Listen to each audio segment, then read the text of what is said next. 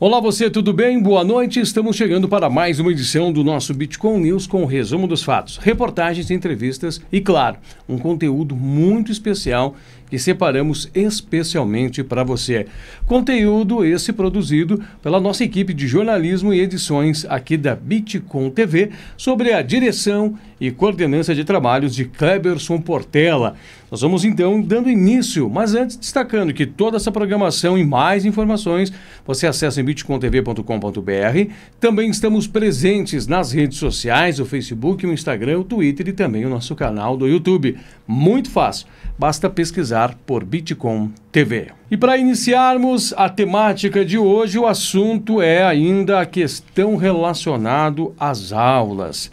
Muita divisão, uma busca de um entendimento e uma grande certeza. A qualidade do ensino das crianças. Como é que ficará? Haverá a possibilidade de um retorno? Haverá também meios para que esse retorno possa ser né, garantido pela relação da saúde? A única certeza que tem é que ainda a data não está afirmada para o retorno. Foi o que disse em reunião ontem o governador do estado do Rio Grande do Sul. Nós vamos, uh, tra vamos trazer agora uma série de VTs produzidos pela jornalista Melissa Bueno. Ela aproveitou a oportunidade e conversou com todos os segmentos que, estão, que estavam nesta reunião. Ela conversou primeiramente com autoridades do Estado, né, que a gente vai trazer para vocês agora, né, o, o que a, o Estado define como posicionamento em relação ao não acerto de protocolos durante a reunião que foi traçada com a FAMURS. Primeiramente, nós vamos trazer então a palavra do Estado. Preste atenção. Como nós somos ah, pessoas de diálogo e acredito que vamos chegar ao entendimento através do diálogo e uma demanda corrente pela maior parte dos prefeitos que aqui se manifestaram, representando as suas associações. Então, para fazer mais uma demonstração do Estado uh, que tem diálogo, que quer conversar, o Estado não fará esse anúncio uh, do calendário com início dia 31 de agosto, até porque a próxima segunda-feira. Uh, e antes disso, nós voltamos a conversar. Mas também deixo aqui consignado que voltaremos às aulas.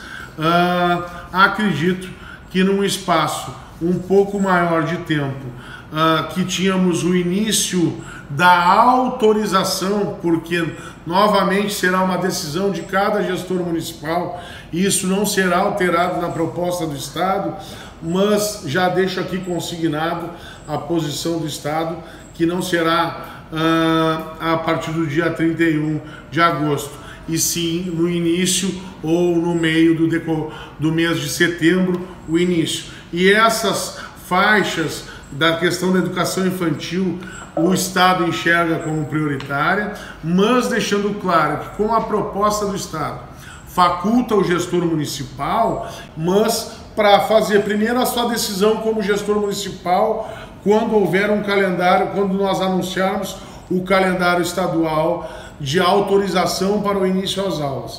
Uh, mas, de novo, na maneira de entendimento, de diálogo, queria deixar aqui essa consignação em respeito à federação e a todos os municípios do estado do Rio Grande do Sul.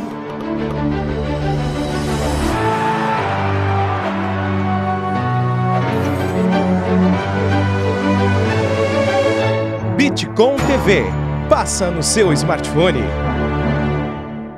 A jornalista Melissa Bueno também na ocasião foi ouvir, né, a posição da FAMURS através do representante das associações dos municípios. Vamos prestar atenção nas suas palavras.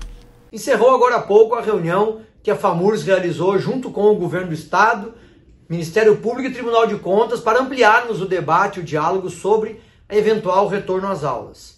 Encaminhamos diversas questões, mas a principal delas é que o governo retirou a possibilidade do retorno às aulas no dia 31 e o governador agora então vai com a sua equipe definir qual a melhor data para eventual retorno às aulas ainda no mês de setembro. A FAMURS manteve a sua posição de extrema preocupação com o retorno às aulas neste momento e insistiu para que o retorno só se desse quando nós tivermos uma curva descendente de casos aqui no estado que nos permita ter a segurança necessária para o retorno às aulas. Enquanto isso, obviamente, os municípios vão se preparando, vão se organizando e vão se adaptando aos protocolos necessários para quando as aulas retornarem.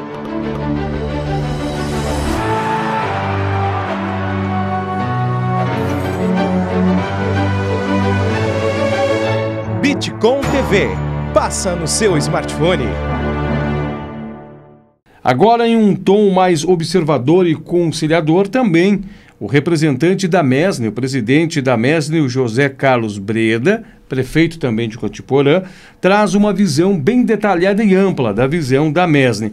Esse VT, essa entrevista, ela tem praticamente 10 minutos de duração. Nós realizamos um compacto para poder trazer alguns pontos específicos para você poder acompanhar. Preste atenção.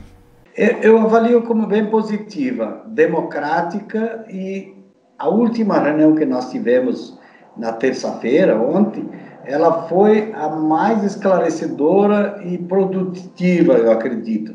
É, essa será adotada pelo governo do estado, ao meu sentir, é de que o estado, de forma fundamentada, decrete, o start de quando as aulas podem retornar e de que forma. Já existem os protocolos, me parece que estão fazendo a revisão, e a partir disso, importante isso, cada município adotará o seu protocolo. Eu estou assinando neste momento os meus aqui de Cutiporã, do meu município, assinará os protocolos, os planos de contingência, com, estabelecendo todas as condições e quando e de que forma retorna ou não. Então, dar autonomia aos municípios, é isso que nós defendemos, para que eles avaliem, cada escola deve avaliar a sua realidade. Por quê? Porque nós não podemos é, tratar de forma horizontal, digamos assim. A realidade do meu município de Cutiporã é diferente da realidade do prefeito Cassina, ali em Caxias do Sul. Um exemplo, aqui nós não temos escolas infantis particulares, só temos públicas. Ali em Caxias existe uma demanda muito grande de que as escolas particulares querem retornar ao trabalho, atender seus alunos. Por quê? Porque elas dependem disso para sobreviver.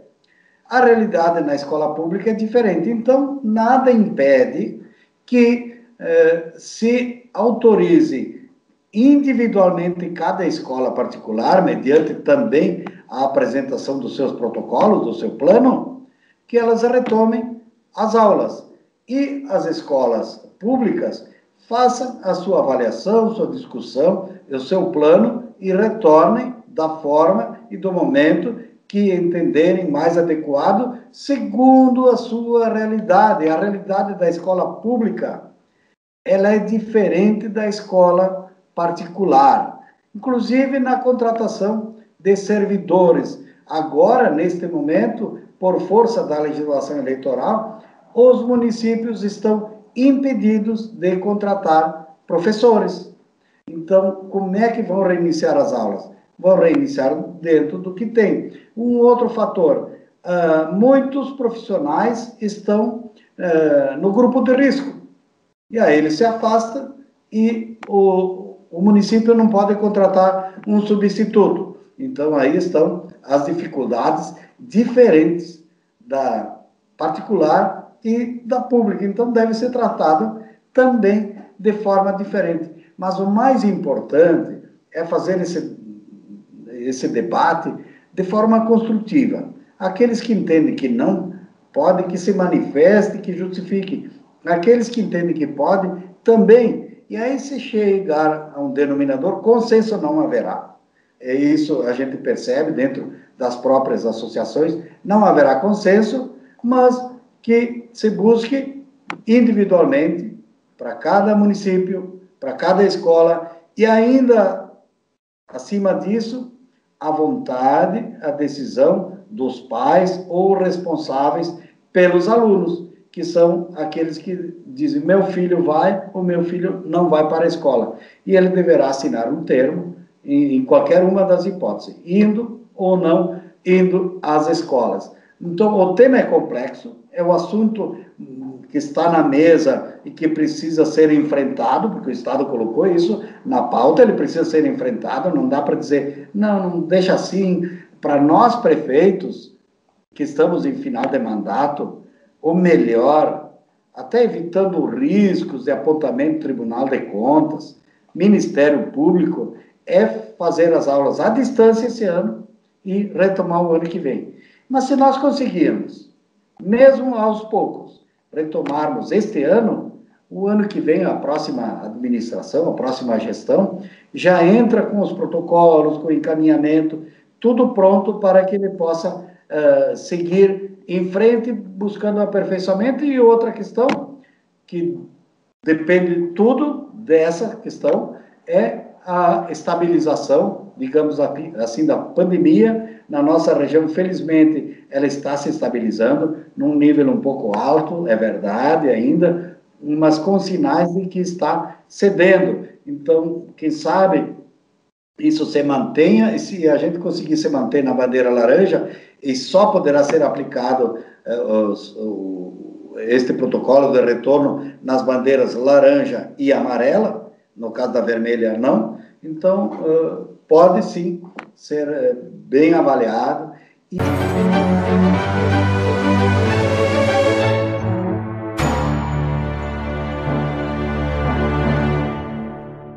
E agora é a vez dele, o nosso coach financeiro, Natanael Buogo, também trazer a sua dica financeira. Natanael Buogo, com você.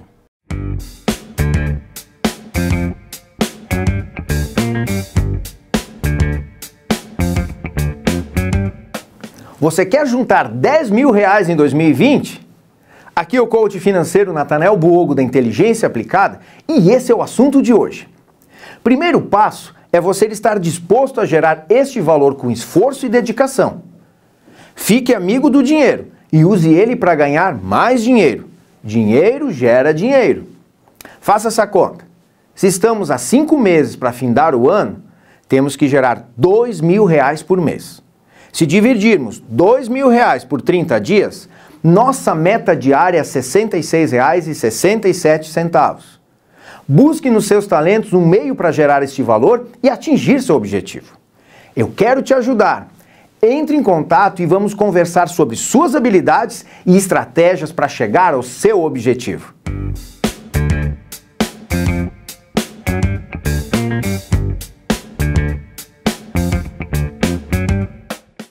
E nós vamos encaminhando o nosso Bitcoin News por aqui. Mais informações, claro, você acessa em bitcointv.com.br e também nas redes sociais. Só pesquisar Bitcoin TV. Previsão do tempo para os próximos dias: o calor está presente no Rio Grande do Sul e assim permanecerá até o sábado. Domingo começam algumas alterações, mas ainda nós vamos estar ainda com as percepções de um dia bastante quente. O que chama a atenção que a, o calor fica e as temperaturas ganham força. Nós vamos ter já nesta quinta-feira temperaturas que vão chegar próximo das 9 horas, entre 9 e 10 horas, a casa de 20 graus e ganhará fôlego rápido, podendo chegar já à casa dos 25 graus no horário do meio-dia. Para a tarde está sendo aguardada temperaturas quase de 29 graus, 28 graus e alguns décimos. Pode ser que até amanhã nos surpreenda quanto a estas questões. O que chama atenção também é que essa, essas temperaturas mais duradouras, elevadas, vão permanecendo até o sábado, como havia dito anteriormente. Uma característica que também vai chamar muita atenção é a relação do frio que sentimos ao amanhecer e também no período noturno. Vai diminuindo essas sensações de ar mais gelado. Tudo porque nesses últimos dias o forte vento que sopra traz um ar seco e um ar aquecido para dentro do estado do Rio Grande do Sul, que junto com os ingredientes das nuvens e a presença do sol faz com que as temperaturas subam de forma muito rápida, como subiu nesses últimos dias. A previsão do tempo também destaca que, por enquanto, os dados apresentam a primeira semana de setembro com chuvas. Mas isso é assunto para os próximos dias. Nós vamos ficando por aqui. Tudo de bom para você. Uma boa noite.